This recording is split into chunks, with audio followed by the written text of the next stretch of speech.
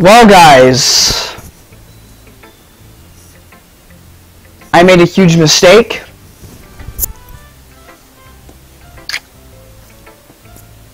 My entire last video had no sound in it. I can't tell you why. My microphone was working. Something happened, it should be fixed now. So I'm debating whether or not I should put it in Movie Maker and just redo it. But I, I'm kind of lazy and I kind of don't want to do that. So if that last video was all silent, I apologize. I am so pissed off though. That was 26 minutes of silence. You know what? I'm not going to upload it. Here's what happened. I kept talking to Yuri, and we read a book together. Alright? So we're, we were bonding, getting closer. Alright? If you want to see that scene, I guess you're going to have to watch somebody else play the game. Because I'm not going to upload a 26 minute video of just silence and music. There's no point. You, it would be better if you just played it yourself. But, um, there was some character development. We grew. We got to know each other. Now we're sharing the uh, the poems. So it's pretty much all that happened, and I'm just really pissed off because that happened, and so I just wasted time, you know, recording that. So I'm just I hate myself right now. So so yeah. Anyway, let's go talk to Monika, I guess. So pissed off. Hi, good Alex. How's the writing going? Alright, I guess. I'll take that. As long as it's not going bad. I'm happy that you're applying yourself. Maybe soon you'll come up with a masterpiece. Uh-huh. I want to count on that. You never know. Want to show what you wrote for today? Sure, here you go. Give my poem to Monika. Alright. Great job, Alex. I was going, ooh, in my head while reading it. It's really metaphorical. I'm not sure why, but I didn't expect you to go for something so deep. I guess I underestimated you. It's easiest for me to keep everyone's expectations low. That way, it always counts when I put in some effort. That's not very fair. Well, I guess it worked anyway. You know that Yuri likes this kind of writing, right? Writing that's full of imagery and symbolism, Unlike Sayori, who likes using simple and direct words to describe happiness and sadness, Yuri likes it when readers are left to derive their own meaning out of it. It's very challenging to write like that effectively. Both allowing people to get something out of it just by feel, or letting them deeply analyze all the nuances. It can take years of practice, which I'm assuming Yuri has had at this point. I never really asked, though. I'm sure I'm nowhere near her level yet. Don't worry so much about that. You do your own thing. Just keep exploring and learn by trying new things. But anyway, you want to read my poem now. I like the way this one turned out, so I hope you do too. Alright, let's take a look. I am so pissed off that the last one didn't work though. Super pissed off. Anyway. The colors save me. The colors, they won't stop. Bright, beautiful colors flashing, expanding, piercing, red, green, blue, an endless canopy of meaningless noise. The noise that won't stop, violent, grating waveforms, speaking, screeching, piercing, scene, coasting, tangent, like playing a chalkboard, chalkboard at a turntable, like playing a vinyl on a pizza crust, an endless poem of meaningless. That's really low to me. That's sad. Hmm. It's even more abstract than your last one, huh? I guess it's just the way I write. I'm sorry if you don't like it. No, I never said that. It's just kind of a thing I've never really seen before, I guess. Kind of like playing with my space on the paper. Choosing where and how to space your words can totally change the mood of the poem. It's almost like magic. The way I wrote the lines really short makes it feel like they're trying to speak over the noise. I see. Still hard for me to tell what it's about, though. Uh-huh. Sometimes asking what a poem is is, is about isn't the right question. A poem can be abstract as a physical expression of feeling. Let me just check to make sure that, okay, the audio is working this time. Or a conversation with the reader. So putting it that way, not every poem is about something. Anyway, here's Monika's writing tip of the day. Sometimes you'll find yourself facing a difficult decision. When that happens, don't forget to save your game. You... What? What? What? What? Wait, wait, wait. This isn't the tutorial. Why are you telling me this to save my game? You should even know this is a game.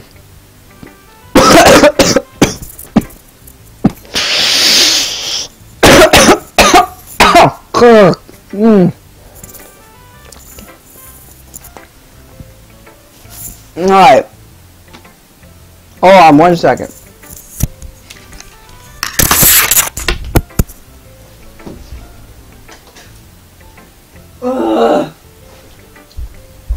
Ah. Oh, I'm sorry, Monika. Ah, man. Ah. Ah. I'm not feeling well. If you can tell. Alright. Or when something unexpected may happen. Wait, is this tip even about writing? What am I even talking about? That's my advice for today. Thanks for listening. Alrighty. That's weird. Nah. Hell, nah, nah. I don't give crap about Suki. Hello. Oh! Let me just save again.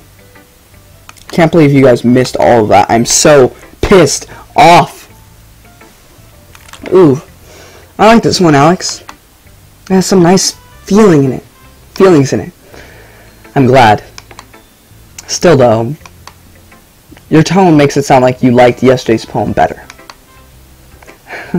I guess you caught me. Sometimes you know me a little too well for my own good. Well, don't just try to be nice about it. If I'm doing a bad job, then I'd rather just hear it. No, no, no. I'd still like this one, I promise. You know, I wouldn't lie to you, Alex. Never, ever. Yeah, I guess so. What made yesterday's poem so great compared to this one, then? Um, I'm not very good at figuring out if poems are good or bad.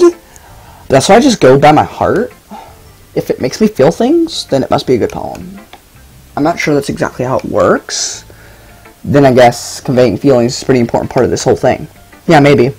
Honestly, I don't even know what kind of writing you like in the first place. Yeah, me neither. Ugh. Why don't why don't you at least try giving it some thought? Uh, you want me to write something? You want to write something for me? That's so sweet. Yeah, uh, right. But you're always thinking about other people. You need to think about yourself once in a while. If you don't, you might end up getting hurt at some point.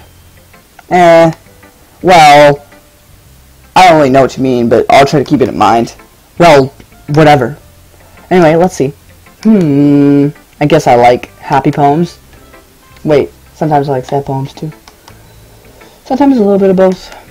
There's a word for that, right? What's the word I'm looking for? Bittersweet. Yeah. I like the things that are happy and things that are sad. Happy and sad.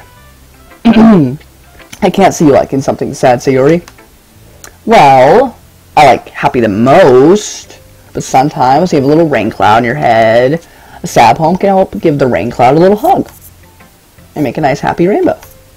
Sayori, that's unexpectedly poet poetic. Eh, it is. I may be getting better at expressing my feelings after all. Thanks, Alex. I should go write that down then. You can read my poem now, okay? Bottles. I pop up my scalp like the lid of a cookie jar. It's a secret place where I keep all my dreams. Little balls of sunshine. All nabbing together like a bundle of kittens. I reach inside with my thumb and forefinger and pluck one out. It's warm and tingly, but there's no time to waste. I put it in a bottle keep it safe, and I put the bottle on the shelf with all the other bottles. Happy thoughts, happy thoughts, happy thoughts in a bottle, all in a row. My collection makes a lot of friends. Each bottle of starlight to make amends. Sometimes my friends feel a certain way. Down comes a bottle to save the day. Night after night, more dreams. Friend after friend, more bottles. Deeper and deeper my fingers go, like exploring a dark cave, discovering the secrets hiding in the nooks and crannies. Digging and digging, scraping and scraping. I blow dust off my bottle cap. It doesn't feel like time elapsed. My empty shelf could use some more. My friend looked through my locked front door. Finally, all done. I open up and come in, and, and in comes my friends. And they come in such a hurry. Do do they want my bottle that much? I frantically pull them from the shelf one after the other, howling them out to each and every friend, each and every bottle. But every time I let one go, it shatters against the title between my feet. Happy thoughts, happy thoughts, happy thoughts in shards all over the floor. They were supposed to be for my friends, my friends who aren't smiling. They're all shouting, pleading something. All I hear is an echo, echo, echo, echo, echo inside my head. Holy crap. Sayori, did you really write this? Of course I did. Did I tell you yesterday I was going to write the best poem ever? Yeah, but, I mean, I expect something like this coming from you. Monika taught me a whole lot. And I've been really in touch with my feelings recently. I see that. It's almost kind of creepy. I'm gonna die. ah, I can't. Hold on, give me one second. creepy. Well, not exactly. Maybe because I'm so used to you being cheerful. Well, never mind. I'm thinking too hard about it. The point is, it came out good, so you should be proud of it. Oh, thanks. I feel like I feel like I was meant to express myself this way. It even helps me understand my own feelings a little bit better. Writing is like magic. You've gotten pretty passionate about this, huh? I hope you keep it up. Yeah! Writing's the best. I'm gonna keep writing until I die. It might be soon. Aha, don't get ahead of yourself. Sayori always has a habit of getting obsessed with something before dropping it no more than a week later. Mm-hmm. I wonder if this is one of those times. But seeing the passion in her eyes make it hard for me to be pessimistic. Oh crap, Natsuki, the tit. Hmm. I liked your last one better. Oh, really? Well, yeah, I can tell you're a little more daring with this one. But you're really not good enough for that. It felt flat. That may be true, but I wanted to try something different. Who the hell would ever want to go after her? I'm still figuring this all out. I mean, I always like poems that aren't trying too hard. I hate when people try to sound fancy or add more meaning just by using annoying and complicated language. Just make it simple, cute, and to the point. You Yuri's head over heels for all this cryptic nonsense, but I see right through that BS. Ha! Making your reader look so hard for all this deep meaning is just an excuse to have no meaning at all. I guess that's one way to look at it. Well, everyone has their own opinion. But my opinion is the best opinion. I'm sure you figured that out already. SJW. Oh no! Also, unfortunately, because you didn't get to see the last part, the whole 26 minutes that you guys missed, oh, I'm so pissed. So pissed. Anyway. Oh, dude, I was making so much fun of all the weeaboos, but I, I, you, just, you can't have that jokes now. It's, it's just gone. It's, uh, it's such a, it's a disgrace to all of human nature. Um, anyway, here's my poem. Maybe you'll learn something. Amy likes spiders. You know what I heard about Amy? Amy likes spiders. Icky, wiggly, hairy, ugly spiders. That's why I'm not friends with her. Amy has a cute singing voice. I heard her singing my favorite love song. Every time she sang the chorus, my heart would pound to the rhythm of the words, but she likes spiders. That's why I'm not friends with her. One time I hurt my leg really bad, and Amy helped me up, helped me up and took me to the nurse. I tried not to let her touch me. She likes spiders, so her hands are probably gross. That's why I'm not friends with her. Crap, I didn't finish it! What? Not bad, right? It was garbage! I didn't get to finish it. It's quite a bit longer than yesterday's. Yesterday was way too short. I was just warming up. I hope you didn't think that was the best I could do. No, of course not. Anyway, the message is pretty straightforward in this poem. I doubt I have to explain it. Sometimes you can explain complicated issues with much simpler analogies. And it helps people realize how stupid they're being. Like, anyone would agree that the subject of this poem is an ignorant jerk. Do you know people like that? Of course! It's about how everyone thinks mine. It doesn't matter. It could be about anything. I read it to be easy to relate to. Everyone has some kind of weird hobby or guilty pleasure. Something that you're afraid if people find out to make fun of you or think less of you. But that just makes people stupid. Who cares what someone likes, as long as they're not hurting anyone and it makes them happy. I really hate this girl. I want to kill myself. This whole weeaboo thing is killing me. I think people really need to learn to respect others for liking weird things. That's funny. Yuri wrote about something similar today. Huh? Did you say Yuri? Yeah. Whoa, whoa, whoa, whoa, whoa, whoa, whoa, whoa, whoa, whoa. Whoa, boy. Weeaboo Jones. Anyway, sorry. She said her poem was about an unusual hobby of hers. I didn't really get it, but she said something similar to you. Alright, good. I just want to make sure it's working, because I do not want it to die again. That people shouldn't make each other feel insecure about these things. Really? Well, I mean, Yuri's pretty weird, so I wouldn't doubt that she had some weird hobbies. You need to shut up. Oh my gosh. Can, like, one of the other girls beat you since I can't? so annoying. Not that there's anything wrong with that. Uh, it's not like I would judge her or anything. Natsuki has trouble finding words. I, I guess I should try not to be so mean to her. If she feels insecure about her weird behaviors and stuff. I mean, I always hate people who make me feel insecure. And made me feel insecure yesterday. But that way you put it, it sounds like she learned her lesson. Well, I would say so. Even if... Oh, sorry. Even if her writing style is really different, I'm sure she'll appreciate the message in your poem. It's what I do best, after all. I don't like writing unless there's a good message to take away from it. Like, conveying emotion is important.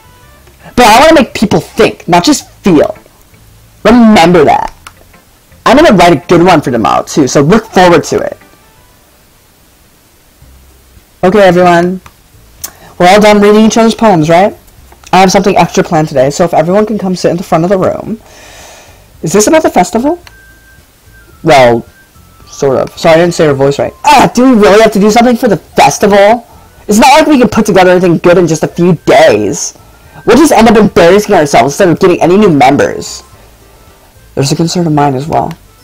I don't only do well with last minute preparations. Don't worry so much. We're gonna keep it simple, okay? You won't need much more than a few decorations. Sayori has been working on posters and I've designed some pamphlets we can give out during the event. Okay, that's great and all, but that doesn't tell us what we're actually going to be doing for the event. Oh, sorry. I thought you heard about it already. We're going to be performing. P performing? P um, Monika? Yeah, we're going to have a, ha we're going to be having a poetry performance. Each of us are going to choose a poem to recite during the event. But the cool part is we're also going to let anyone else come up and recite poems too. Sayori's putting it all on the posters in case anyone wants to prepare ahead of time. Sayori, who's been coloring a poster, holds it up for us to see. Are you kidding me, Monika? You, you didn't you didn't start putting those posters up, did you? Oh, well, I did. Do you really think that's that bad of an idea? Well, no. It's not a bad idea. But I didn't sign up for this, you know. There is no way I'm going to be performing in front of a group of people like that. I agree with Natsuki. I could never in my life do something like that. Imagining it, Yuri shakes her head in fear. Guys! No, Sayori. I understand where they're coming from. I remember that Natsuki and Yuri has never shared their poems with anyone until just a couple days ago. It's a lot to ask for them to recite their poems out loud to a whole room full of people. I guess I kind of overlooked that. So, I'm sorry. But, I still think we should give it our best. We're the only ones responsible for the fate of this club. If we start the event and each of us puts on a good performance, then it will inspire others to do the same. And the more people perform, the better we'll be able to do to show everyone what literature is all about. Yeah! It's about expressing your feelings, being intimate with yourself, finding new horizons, and having fun. That's right. And it's those reasons that we're all in this club today. Don't you want to share that with others? To inspire them to find the same feelings that brought you here in the first place? I know you do. I know we all do. And if it all and if all it takes is standing in front of a room for two minutes and reciting a poem, then I know you can do it.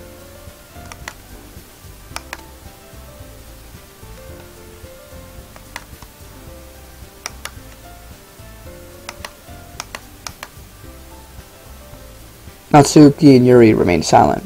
Oh, what time is it? Alright, cool. Sayori looks worried. I guess that leaves me no choice. I agree. I don't think it's too much to ask. I think that Sayori and Monika have been trying really hard to get new members. The least we can do is help them out a little bit. Well, maybe, but... It looks like Natsuki doesn't have any arguments left. Uh, okay, fine. I guess I just have to get it over with. Alright. Phew. Thanks, Natsuki. What about you, Yuri? Hmm. He dejectedly glances around everyone else at expectant faces. I guess I don't really have a choice. Aha, that's everyone. You're the best, Yuri. This club is seriously going to be the death of me. Oh gosh. You'll be fine, Yuri. But anyway, let's move on to the main event. I want each of you to choose a poem of yours. We're going to practice reciting them in front of each other. N no way! Monika, this is too sudden. Well, if you can't recite your poem in front of the club, how do you expect to do it in front of strangers? Oh no. Don't worry. I'll start off to help everyone feel a little more comfortable. Can I go next? Uh-huh, of course. Now let's see. Monika flips through her notebook to a specific poem she has in mind for herself. She then stands behind the podium. The title of this poem is The Way They Fly. Monika begins reciting her poem. Her clear, confident voice fills the room. More than that, her inflection is pristine. She knows exactly how to apply emotion behind each line she recites, bringing the word to life. Is this something she's done before, or is she simply a natural? I glance around me. Everyone has their eyes on Monika. Sayori looks amazed. Yuri has an intense expression on her face that I don't understand. Finally, Monika finishes the rec recitation. The four of us applaud. Monika takes a breath and smiles. That was so good, Monika. Thank you very much. I was just hoping to set a good example. Are you ready to go next, Sayori? Uh, I'll go next. But Yuri's fired up all of a sudden. Yuri clutches a sheet of paper between her hands and stands up. Keep her head down, she walks quickly over to the podium. This poem is called... Yuri anxiously glances at each of us. You can do it, Yuri. It is... It's called... After Image of a Crimson Eye. Yuri's voice shakes as she starts reading the poem. Just a moment ago, she practically refused to do this. Why is she suddenly putting in so much effort? As Yuri gets past the first couple lines, her voice changes. It's almost like what happens when Yuri gets absorbed into her books. Her quivering words transform into the sharp syllables of a fierce and confident woman. The poem is full of twists and turns in its structure that she enunciates with perfect timing. This must be a rare glimpse into the whirling fire Yuri keeps concealed inside her head. Suddenly she's finished. Everyone is stunned. Yuri snaps back into Ria and glances around her as if she's bewildered, even herself. I... It's up to me to save this situation. I'm the first to start applauding. Everyone joins me afterwards and we give Yuri the recognition she deserves. It's not that we didn't want to applaud for her, but we were caught so off guard that we must have forgotten. As we applaud, Yuri holds the poem to her chest and rushes back into her seat. Yuri, that was really good. Thank you for sharing. Looks like Yuri's down for the count. Okay. I guess I'm next then. Yuri hops out of her chair and cheerfully walks out to the podium. This one's called My Meadow. Ah. Uh-huh. Sorry, I giggled. Sayori. Salon like that. How did you guys do it so easily? Uh, try not to think of, of it like you're reciting to other people. Imagine you're reciting it to yourself, like in front of a mirror in your own head. It's your poem, so it will come out the best that way. I see, I see. Okay then. Sayori begins her poem. Somehow it feels like her soft voice is made as a perfect match. The poem isn't aimlessly cheery like Sayori is. It's serene and bittersweet. If I were to read this on paper, I probably wouldn't think much of it. But hearing it come from Sayori's voice almost gives it a whole new meaning. I mean, this is what Sayori meant when she said she likes my poems. It's like I get to reach more deeply into someone I thought I knew through and through. Sayori finishes and we applaud. I did it! Good job, Sayori. even Alex liked it. I guess that's a good sign. What does that even mean? It came out nicely, Sayori. The atmosphere of the poem fits you really nicely. But might be the other poems wouldn't work quite as well with that kind of delivery. Eh, I don't really understand. In other words, I've seen poems of yours where that sort of gentle delivery wouldn't work as well. They might need a little bit more force behind them, depending on what you're reading. Oh, I know what you mean. That's, well, I've been practicing that kind of thing. It's just embarrassing to do in front of everyone. the next time I'm going to make you pick a poem that challenges you a little more. We don't have much time before the festival, you know.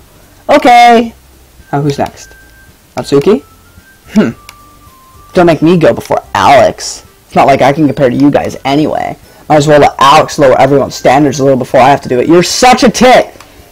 Natsuki? It's fine. It's fine. I might as well get it over with. It's not like I, I have a much of a selection of what to read. I'll just have to go with what I wrote for today. Stand up and step in front of the podium. Everyone has their eyes on me, making me feel terribly awkward. I recite my poem. Since I'm not exactly confident in my writing, it's hard to put energy into it. Despite that, once I finish, I receive applause anyway. Sorry, I'm not really as good as everyone else. Don't worry about it so much. I think it's less about your abilities and more about your lack of confidence in your writing. That's something that'll improve over time, though. Yeah, maybe. Alright, then. That just leaves you, Natsuki. Yeah, yeah. I'm going. Natsuki begrudgingly gets out of her seat and makes her way to the podium. The poem is called... It's called... Why are you all looking at me? Because you're presenting. Hmm. Anyway, the poem is called Jump. Natsuki takes a breath. When she starts reciting the poem, her sour attitude disappears a little. While she's still a little unenthused, her poem has a rhythm and, and a rhythm to it. It's Natsuki's trademark style, and it works surprisingly well when spoken aloud. The words feel like they bounce up and down as if giving life to the poem. Natsuki finishes and everyone applauds. She hops back to her seat. That wasn't so bad, was it? Easy for you to say. You better not make me do that again. Oh, well, do you at least feel prepared enough to recite a poem in front of other people? I mean, doing it in front of other people will be way easier. I can put on whatever face I want for the other people. But when it's just my friends, it's just embarrassing. That's a surprise, Natsuki. I think it would be... I think it would be the other way around for me. Well, that's just how it is, so...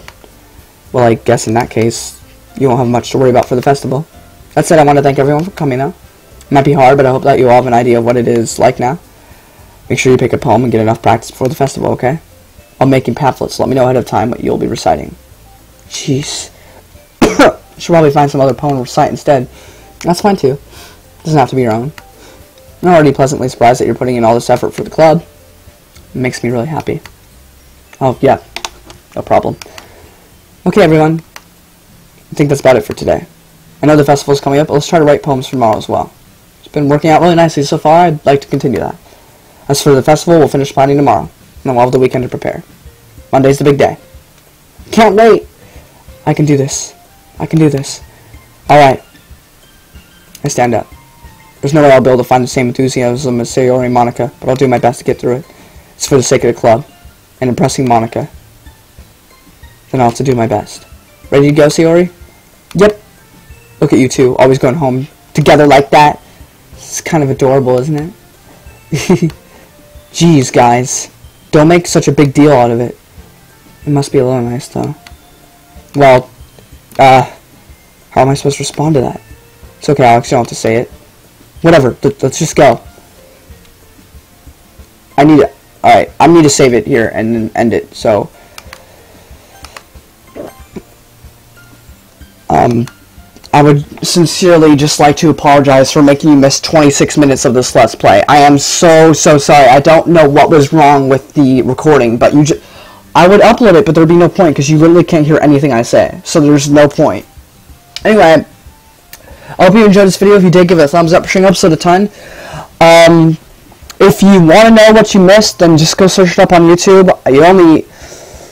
You didn't miss too much. You just met you just missed a little bit of me and Yuri getting a bit closer. That's about it. Um, and then I made a bunch of weeaboo jokes. So, that's all you really missed. But yeah, I hope you guys enjoyed this video. If you did, give it a thumbs up. Sharing up a ton. Don't forget to subscribe. I'm sorry you missed 26 minutes. I apologize. Um, that will never happen again. And as always, guys, I'll see you next video. Bye-bye.